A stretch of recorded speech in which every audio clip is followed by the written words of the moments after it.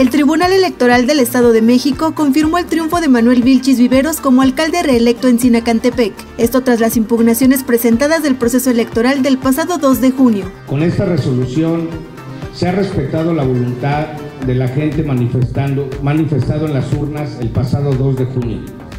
Fue muy claro que la gente eligió de manera libre, libre a la presidenta de la República, a quienes lo representarán en el Senado de la República, a sus diputados federales, a sus diputados locales y desde luego a sus presidentes municipales.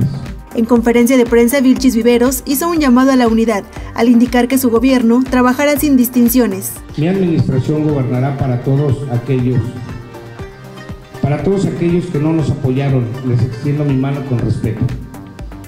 Somos, de, somos una sola comunidad y los desafíos que enfrentamos como municipio exigen que trabajemos juntos más allá de las diferencias políticas. Nuestro compromiso es con cada ciudadano de Sinacantepec. Además, agradeció el respaldo de los sinacantepequenses. Estamos muy agradecidos con la ciudadanía que nos otorgó su confianza por segunda ocasión y de manera consecutiva. Eso nos obliga a actuar con total responsabilidad y a responder a esa confianza con mucho trabajo. Finalmente, el presidente municipal dijo que gobernará con democracia, a fin de garantizar que cada persona tenga acceso a mejores oportunidades de servicios y una vida digna. De Urbana Noticias.